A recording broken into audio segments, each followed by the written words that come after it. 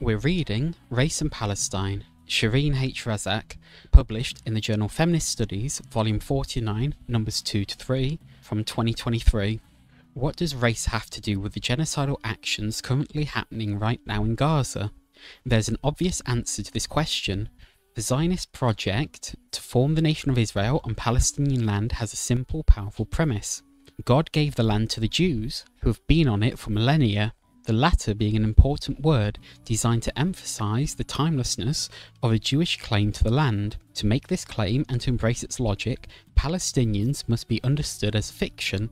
For Golda Meir, the fourth Prime Minister of Israel, as she told the New York Times in 1976, there is no Palestinian people, there are Palestinian refugees. Echoing the spirit of the 19th century Zionist phrase, a land without a people for a people without a land.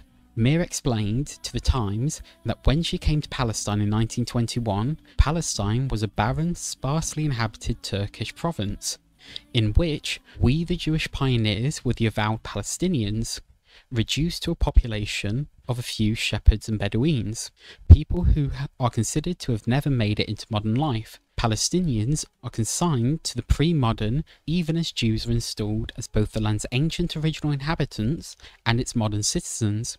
We dispossessed no Arabs, Meir stated emphatically.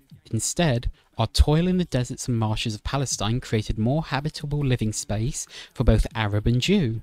Disappearing Palestinians in this way requires hard material and psychic work. Real life Palestinians have to be disposed of, as is happening now. In order for acts of dispossession to continue without a racial hierarchy of humans and subhumans, one cannot physically or legally perform the alchemical trick of disappearing Palestinians. Race based thinking transforms the eliminationist basis of the Zionist state, a land for Jews only, into something reasonable.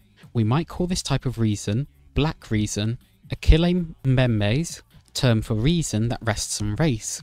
We must ask, as does the legal scholar Colin Dayan, what kind of reason defies logic? Her answer, that which is the basis of a colonial and slash or slave owning state.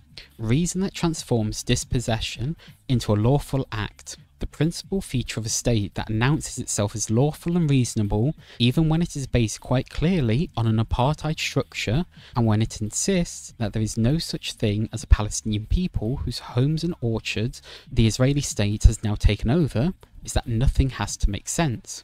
We cannot find logic in Zionist slash Israeli mythology.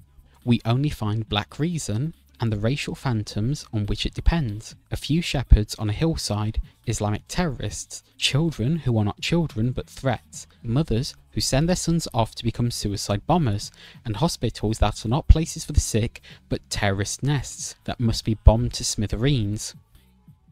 And that was Race and Palestine by Sherene H. Razack, published in the journal Feminist Studies, volume 49, numbers 2 to 3 from 2023.